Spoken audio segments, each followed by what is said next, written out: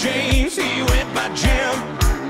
A gangster wannabe, and baby, that was him. He stole his uncle's phone.